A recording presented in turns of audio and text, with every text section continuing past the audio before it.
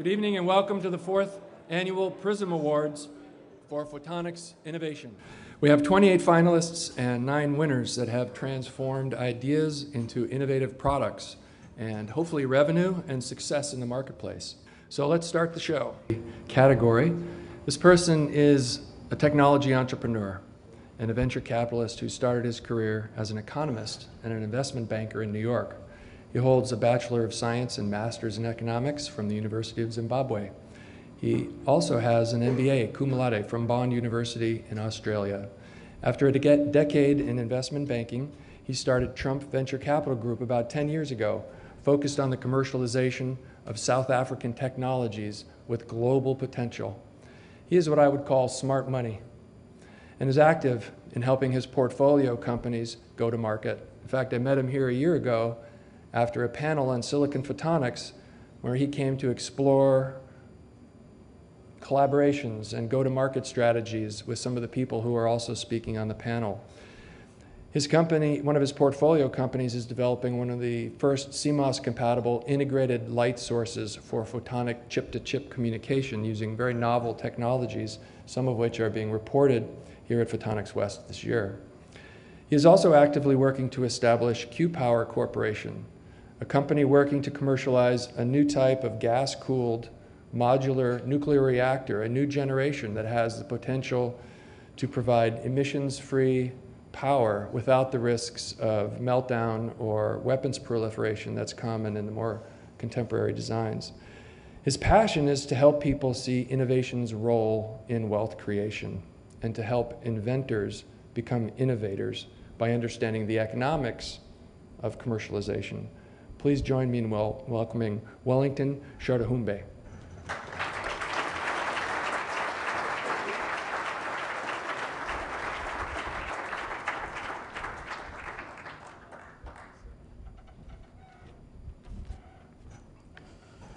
Well,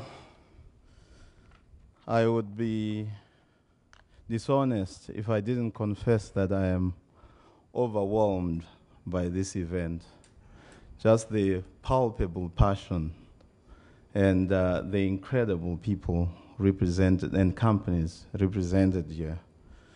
And uh, even though I haven't been working with SPIE for a long time, I have gotten to realize that actually there is a winner, an award winner, who is not on the list tonight.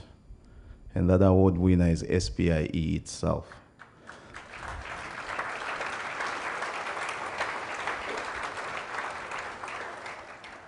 So uh, it is my pleasure and distinguished honor to be here tonight to present the award for the defense and security category, as Peter said. Optical technology has become a ubiquitous part of national defense.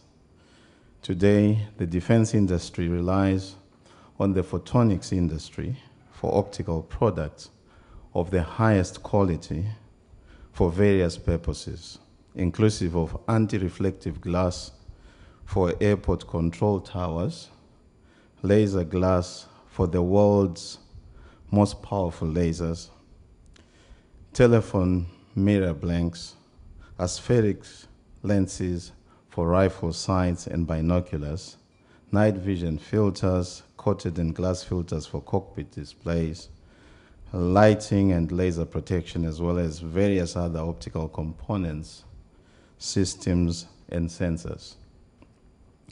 The three finalists being honored tonight have distinguished themselves by adding to uh, this really long catalog that I have uh, non-exhaustively mentioned, and enriching it with technologies that enhance intelligence gathering, surveillance, reconnaissance, as well as the detection of biohazards, lethal chemicals, and dangerous explosives.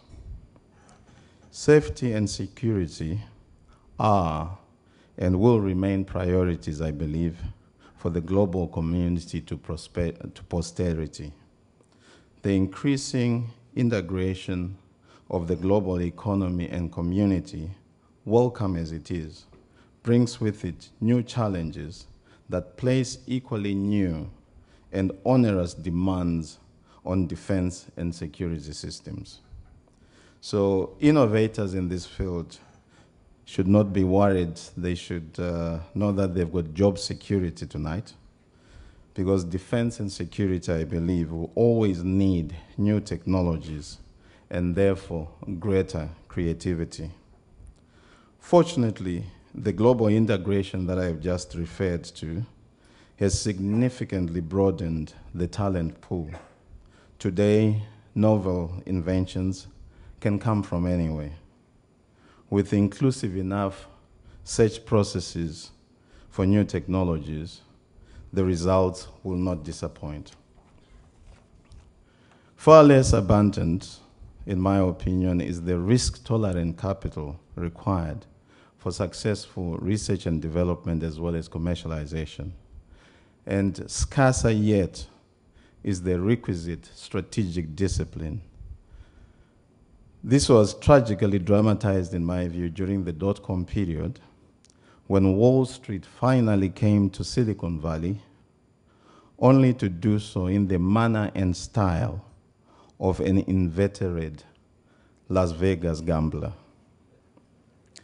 This thought that all too often, in the excitement of the new, uh, the new invention, science is emphasized at the expense of strategic discipline. As Carlota Perez, a Peruvian economist that I follow, has observed, and I quote, conventional wisdom tends to see technology as a matter of scientists and engineers yet it is in fact very much a social and economic matter. The objective has always been to turn base metals into gold and not the reverse. End of quote. Only when technology demonstrates the level of maturity that would make it deserve to be regarded as a science with robust and discernible principles will technology commercialization, I believe, cease to be perceived as a gamble and get central rather than peripheral investor attention. And as Peter said, this is one of my passions. Personally, I've been impressed, as I indicated with my opening remarks, by the degree to which SPIE is alive to this challenge, and I am sure that before long, a fitting program will be conceived and added to the agenda of future conferences. This is important because the symbiosis between innovation, capital, and strategy has driven economic growth since hoary antiquity. As William Bernstein observed, and I quote again, he says, economic growth rides in the cockpit of invention. End of quote. Therefore, the innovative ingenuity displayed by the three finalists being honored tonight is not only a valuable contribution to peace and security, but perhaps is also the antidote that the global economic recession requires. So, who then are the distinguished companies in the defense and security category for 2012? Well, let's watch the screen.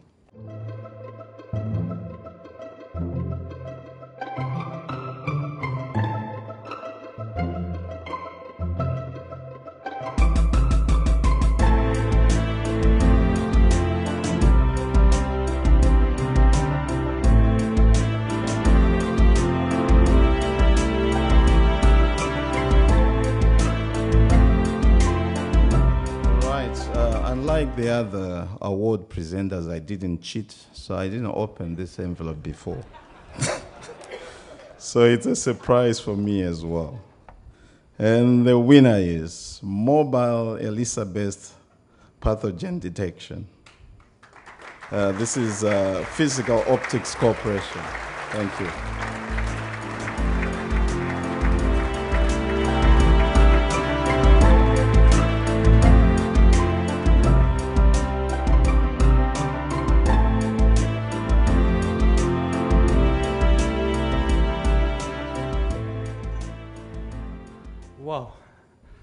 Can't believe we won it.